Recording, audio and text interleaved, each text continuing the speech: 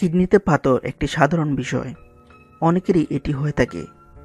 প্রধানত শরীরের পানির অভাবে এটি হয়। পানিকে বলা হয় জীবনের উৎস।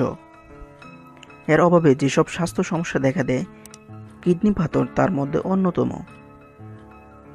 শরীরের পর্যাপ্ত পানি না থাকলে তা ইউরিক অ্যাসিডকে তরলে পরিণত করতে পারে না।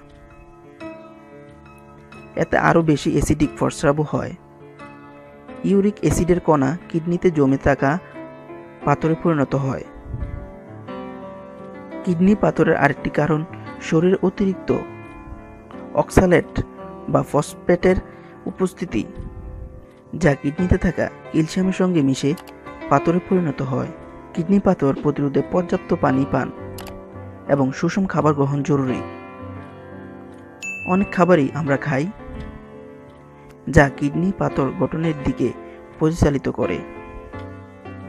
এসব খাবার এড়িয়ে চলা উচিত। তাহলে আসুন জেনে নেওয়া যাক সেগুলো কি কি। সোডিয়াম।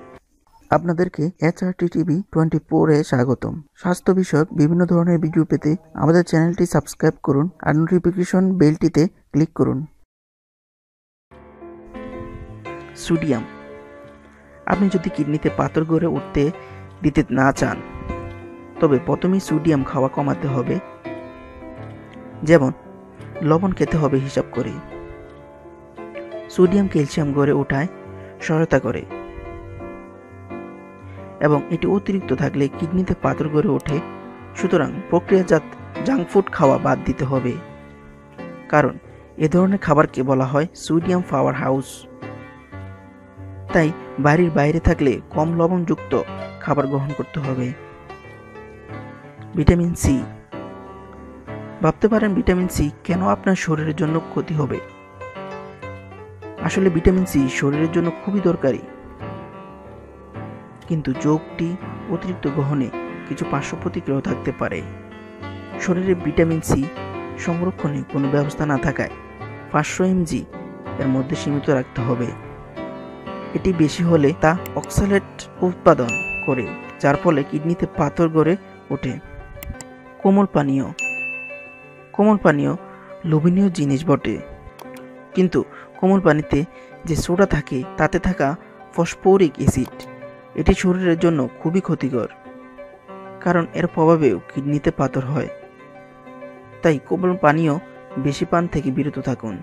রেউচিনি জাতীয় শাক, কিডনিতে পাথর গড়ে উঠতে বাধা দিতে চাইলে রেউচিনি জাতীয় শাকও এড়িয়ে চলতে হবে।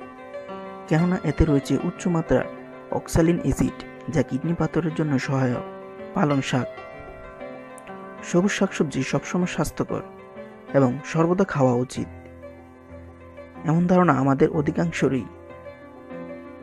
কিন্তু মনে রাখতে হবে, একশো গ্রাম পালং শাকে প্রায় এক গ্রাম অক্সালিন অ্যাসিড থাকে। সুতরাং কিডনি পাথরে ভয় থাকলে পালং শাক এড়িয়ে চলুন।